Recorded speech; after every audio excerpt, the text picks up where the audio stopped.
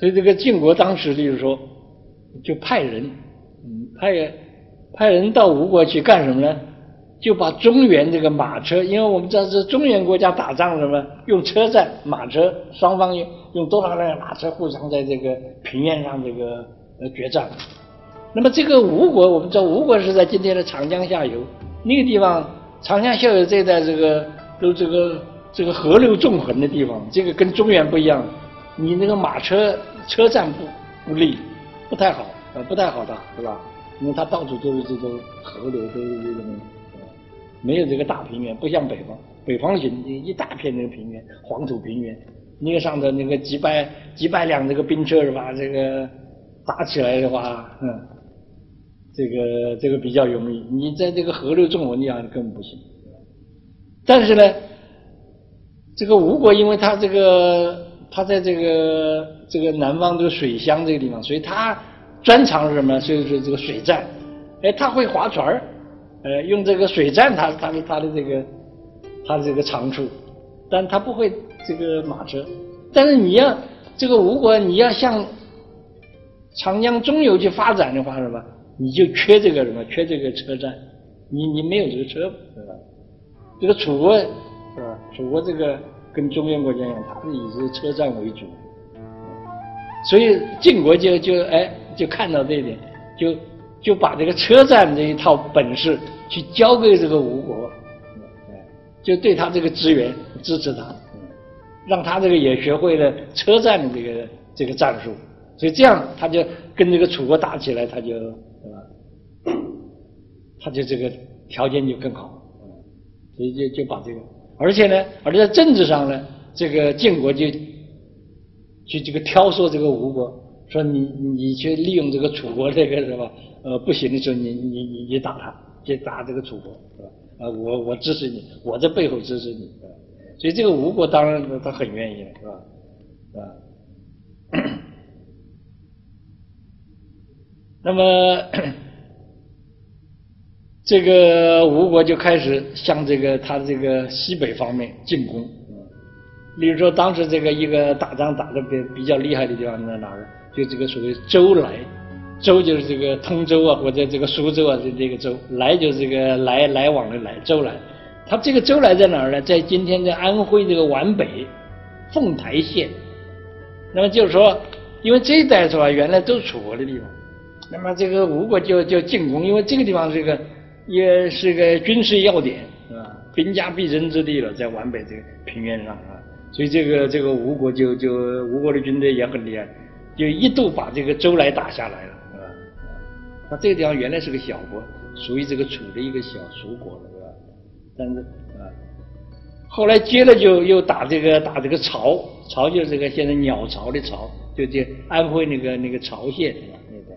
那，么这些地区的话，都在今天的什么？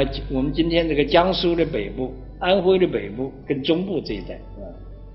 所以吴对这个楚的威胁应该说越来越大。他原来就是远远的在在在长江下游，是吧？靠海的地方，是吧？那现在哎，到了中原这个，就到安徽啊、苏北这一带，是吧？啊，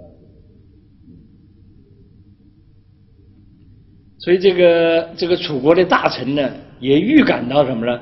这个吴国将来是吧，终究要成为这个楚国的是吧一个心腹之患，所以呢，当时这个。他们已经打算什么呢？把这个楚国的这个首都，首都是这个郢啊，郢城呢，呃，要把它加固起来。我们说这个也是不寻常之举了，是不是？你说楚国这么原来是一个大国强国，哎，现在突然要什么？要加强这个首都的防范了，啊，首都的这个什么，这个这个防卫工作了，就说明他这个，他这个现在受到吴这个威胁已经很厉害了。嗯否则，你说这个引这个离开这个这个吴很远的，对不对？所以就说明这个吴国的力量一步一步的往靠近这个楚国，是吧？逼迫的这个楚国是吧？感到这个吴这个威胁已经很大，对他。那么到五百公元前五百一十五年，这个吴国的这个公子光，他名字就叫光了。吴公子光啊，把当时这个吴国的一个王，就是王僚，就把他杀掉了，是吧？这个我们这个戏曲上的故事里面，这个经常有的时候，呃，专诸刺王僚嘛，是吧？呃，把这个这个王僚给给杀掉了，杀掉了以后，就这个吴公子光呢，成了这个吴国的君主，这个就是有名的所谓的阖闾啊，阖闾。当时这个这个阖闾这个在吴王里面也是一个比较这个有作为的一个王嘛，啊，他这个例如说他《左传》上说他这个什么能够这个是吧，对他这个老百姓啊，能够这个爱护有加，我们说这个在古代作为一个君主这很重要，你要你要这个嗯，你要不重视这个老百姓，不去这个依靠老百姓是吧，不给老百姓这个好。呃，很多这个优惠啊，是吧？那你这个这个君主就就就不行，是吧？所以他这个啊，所以这个楚国这些他的敌人来看是看着说这个吴王啊，他这个野心不小，他先要的拉拢他国内这个老百姓啊，对老百姓施以小恩小惠，然后要这个利用这个老百姓起来干什么？就对这个楚啊，对付这个楚国啊。那么这个时候，楚国一个逃亡的一个叛臣呢，应该说是叛臣，就这个伍云，就是伍子胥。这时候，因为他这个全家都被这个楚国杀掉，所以他这个就就投奔吴国。因为这个时候听说这个楚国以外，他还有个很强的国家，这个吴国，所以他就想去这个，就是投奔吴国，想要利用这个吴，这伍子胥这个野心也是很大，他想利用这个。吴国的武力来这个打败这个楚国啊，来报他这个他的仇啊，因为他全家被杀掉了。所以后来到这个公元前五百零六年的时候，这个吴国就联合了这个小国蔡国、唐国这一国家，对吧？来这个打这个楚国。他吴国是这样子，吴国他先起先他是用这个船，船来运的军队，是吧？沿着这个淮河啊而上，从这个江苏啊沿着这个淮河，然后呢到了这个今天这个大别山、小别山是吧？这一带是吧？他开始把这个船不要了，这个军队就就登陆。啊，所以这个吴国的军队很厉害，从这个是吧，一直就是。进入到这个今天这个湖北湖北这境内的，从这安徽已经到湖北了，所以这个后来这个这个楚国就是说这个打不过这个吴国，他这个军队这个吴国军队来了以后，他抵挡不住，而且一败再败啊，都是失败仗。所以据说这个吴国是属于这个五战五胜，五战五胜一直什么？打到了这个就是这个楚国这个首都郢都，把这个进了这个他这个军队进了这个郢都城，把这个郢郢打下来了，所以这样楚王就没办法，就逃逃逃难，逃到那个熏这个地方。我们说这个楚国，我们说从左传来看是吧？他在这个春秋时期，他一直是个非常骄傲的、非常跋扈的一个南方的一个霸主强国，而且。而这个我们这没想到的什么，就是到了这个春秋晚期的时候，他竟然被一个南方一个原来不知名的一个小国，这个吴国把他打败，而且进攻了，攻攻进他的都城。我们说这一败，这真是当时人都大概都都没有预见到的这样会发生这么一件事，一个很小的国家打打进一个一个强国的首都，吧？都城。所以这个是楚国在春秋时期他空前的是吧一次这个大失败，嗯，因为他过去跟晋国打是吧，就是在战场上打败，打败了就就完了是吧？这次不是，不仅战场上打败，而且他这个首都他的老窝都给人家端了，所以这个这个是个，呃，在楚国他在春秋时期那是一个非常丢脸的事情是吧？一一个强国就竟然给一个小国把他这个把他这个这个都城都给攻占。当然，后来这个当然这个吴国，他也不可能这个比较长期的占领这个楚国，终究是个大国的，所以当然后来这个这个吴兵也也退退出来了，啊。那么到这个吴王这个阖闾这个死了以后，是吧？就他的儿子叫吴王夫差，吴王夫差他这个君主是这么个君主，就是他这个人啊，还很有野心，他也要求就是跟他跟他父亲一样，成为一个一个很强的这个当时的春秋这个强国，甚至他也想这个当这个霸主，他有这种野心，这是他这个这个是他的一面，他另一面我们下面我们就看后面也能看到的，他对这个治国治理国家这方面啊。甚至军事策略方面，他不太行，或者说他有一个有这个有这个很多这个弱点啊。所以呢，他这个从一方面来讲，他这个很强，对吧？他他他这个军事是吧？特别战胜楚了以后，他这个军力很强，那那是没问题的，对不对？他很强，确实很强。所以他对外的时候，确实当时这个我们说，他当时这个中原国家都对这个吴都有点害怕。为什么呢？就是这个吴了不起啊，他把楚国这么强都能打败，所以这个后来这些大国，包括晋国在内，对这个吴国的不能这个嗯等闲视之啊。所以呢，后来这个，例如说这个这个吴王夫差的策略也是也是。往这个中原这方面发展，所以这个最有名的就是说，他在这个今天这个江苏扬州，就是开了一条沟，叫邗沟啊。这条邗沟我们说这个很重要，因为为什么？他是把这个长江跟淮河把它连起来。那么这个邗沟也就是后来中国这个大运河的这个一个呃一个最早的一个开始的一个这这样一个路线，是吧？那么这个时候，这个吴国他要对付的是谁呢？他把楚国已经打败了。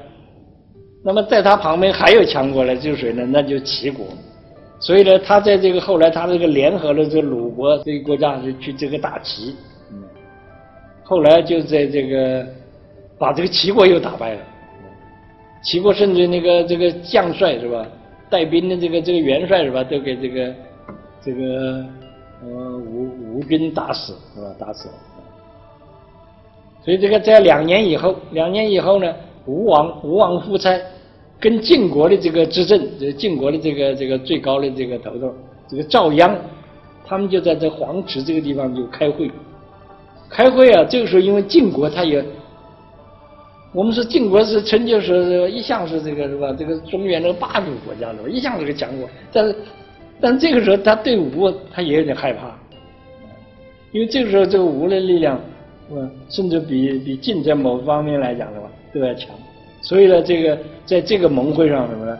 他嗯做了点让步，所以这个吴啊成为这个盟会上这个得胜者，所以吴成为这个霸主。我们说这个在春秋时期是吧？是另一种这个格局出现的，新兴的小国家吴国成了强国，所以吴成为霸主，春秋是霸主是吧？但是呢，我们前面讲了这个吴王这个。在这个在军事方面，在在在外交方面，有时候我们说他他也是很厉害，是吧？他也很有两下子嘛。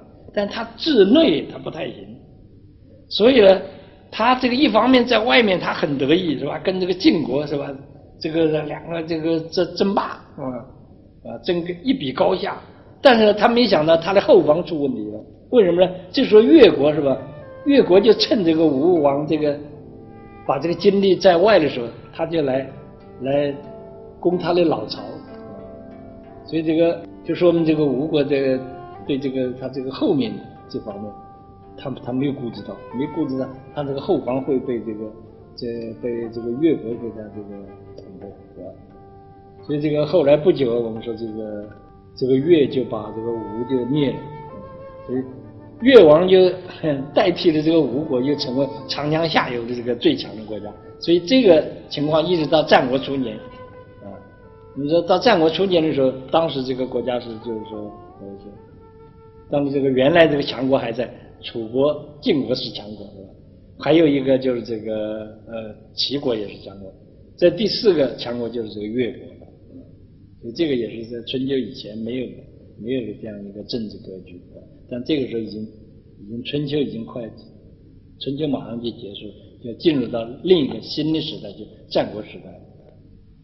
呃，关于这个争霸斗争呢，我就讲到这儿，就是几百年这个不断的这个争霸，是吧？第十一个小题目就是讲一下这个子产，子产这个讲什么？讲他这个治理郑国的情况。我们说这个郑国在这个春秋时候，它只算一个中等国家，算个二等国吧，是吧？头等国是晋楚这一国家，它算个中等二等国家，但它的地理位置正好在晋楚之间。所以呢，他对他的这个位置对他非常不利，因为这个这个这个北面这个晋国可以这个经常骚扰他，这个楚国南方的楚国哎又给也可以经常骚扰他，所以他这个处于一个非常不利的地位，不利地位。而且呢，这个晋国这个他国内这个政治形势跟这个其他国家一样，就是也就是说这个君主没有什么权利，掌权的都是这世卿。而且呢，还经常有这个内乱，这个我们说也是对一个国家来说是不利的，经常闹内乱，所以这个国家就治理起来不容易。它因为它有外面的这种对它不利的这个形势，是吧？内部又又经常出现这种内乱，所以这个国家要治理好不太容易。那么，嗯，到这个春秋晚期的时候，就我们说在晋国呃郑郑国出现了一个大政治家，这个就是个有名的这个子产。子产他的名字叫公孙乔，因为他他是个就是这个君主这个孙子这一辈儿嘛，所以他叫公孙嘛。公他的名字叫乔，就华侨的侨。因为我们知道这个郑国在这个春秋这个呃晚期的时候是吧？春秋后期晚期是吧？那么他这个掌握这个政权的是吧？这个卿大夫是吧？就这个都是说郑穆公的后代，郑穆公的后代。当一一个一个君主的后代，他儿子古代这个这个他儿子很多了，所以叫亲穆，就是郑穆公七个儿子，这七个儿子后来这他们这个轮流的在这那个掌握这个郑国的这个政权，是七穆。那么这个子产也是正好是亲穆的孩子，也就是属于他是公孙孙子一辈嘛，他是君主的孙子这个公公孙乔。那么，他这个后来就开始就进入这个郑国的政坛。他在位大概是治理郑国大概三十年，有三十年的时间，所以这个时间也不短，治理三十年。